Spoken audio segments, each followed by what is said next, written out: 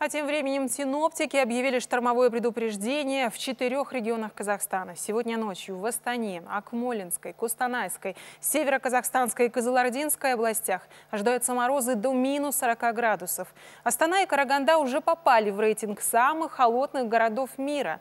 Как такую низкую температуру переносят наши граждане, расскажет Людмила Батюшкина. Аномально холодно даже в южных регионах, местами до минус 25. В Караганде и Астане сегодня отменили занятия в школах. В Семеюсь, Каменогорске и Костанае на уроки ходят только старшеклассники. За три дня морозов в Карагандинской области 22 человека получили обморожение. Есть и люди, просто которые длительное время там что-то работали, что-то делали на улице, естественно, отморозили конечности.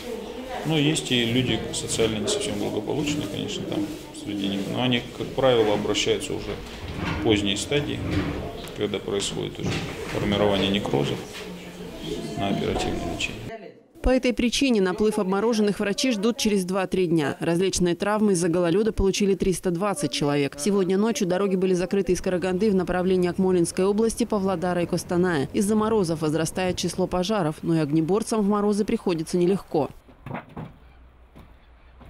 При хороших минусовых отметках э, это не, пожарным приходится прикладывать неимоверные усилия, вплоть до того, что замерзает вода в рукавных линиях, магистралях, э, на разветвлениях.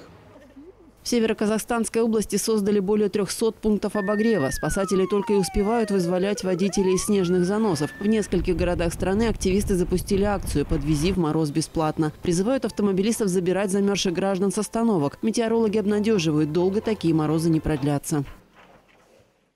На выходных погода изменится, потому что к нам подходит э, раздел фронтальный, теплый фронт и э, циклон. На востоке еще сохраняется да, мороз.